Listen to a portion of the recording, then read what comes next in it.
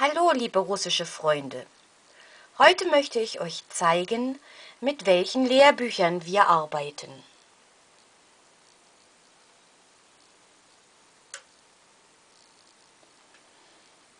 Die Schüler, die Russisch als dritte Fremdsprache lernen, arbeiten mit Priviert. Es sind in der Regel Schüler, die in zwei Jahren die Niveaustufe A2 erreichen wollen. Wir haben in der fünften Klasse mit Dialog 1 begonnen.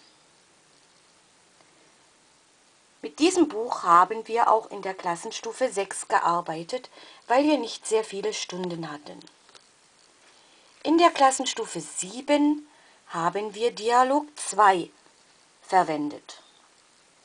Ihr seht, hier arbeiten wir schon auf dem Niveau A2. Jetzt sind wir in der achten Klasse und arbeiten mit Dialog 3. Im Moment beschäftigt uns ein interessantes Thema. Schaut bitte einmal.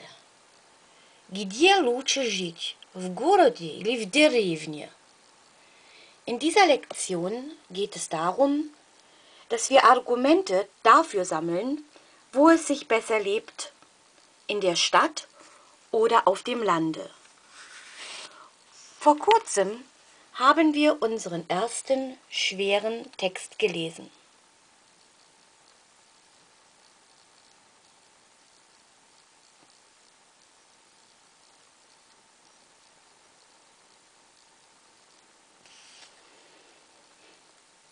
Jetzt sind wir gespannt, wie ihr im Deutschunterricht arbeitet.